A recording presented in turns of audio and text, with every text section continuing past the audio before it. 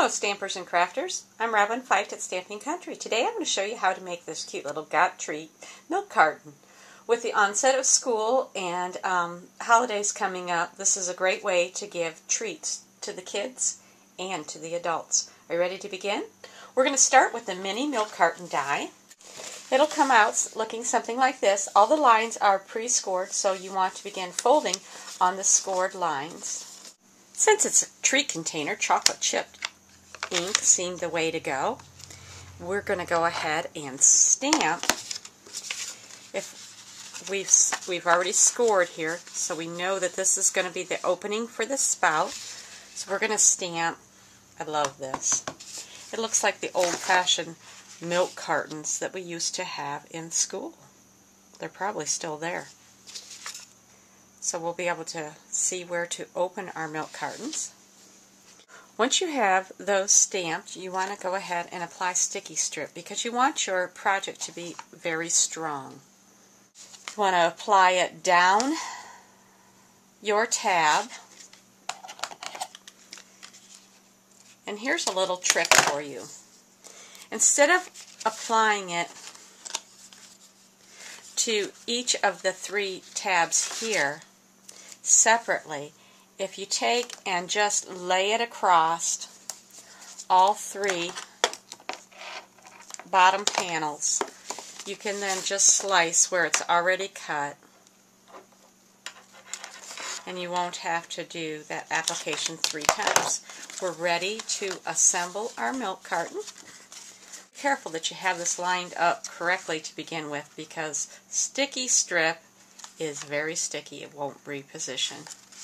Peel and stick. Let's pull out our Got Treat stamp set once again, and this time we're going to use markers to color our little punk, happy pumpkin image. We'll color the pumpkin with peach parfait to match our designer paper. I just love how everything coordinates. It's easy to match. So we'll ink him up real good. I'm using the wide tip of my markers. We'll add Lucky Limeade for his swirling stem and chocolate chip for the words got treats. He's asking the question.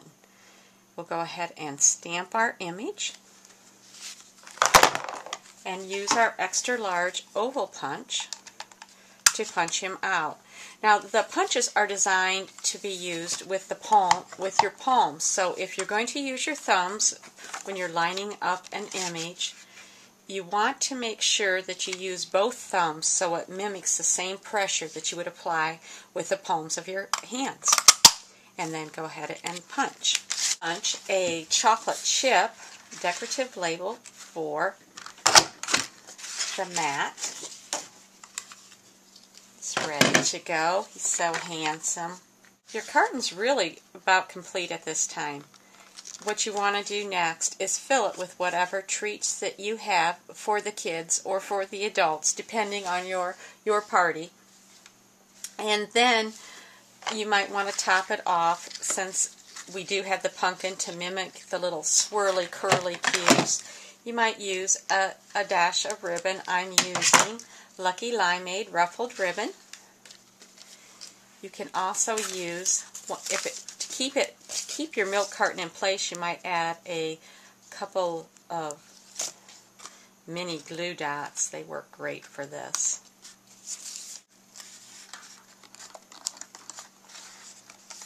And you can you can give it just like this or have a little fun with your project and add your ribbon with a little mini library clip. Just thanks for stopping at Stamping Country and have a great day.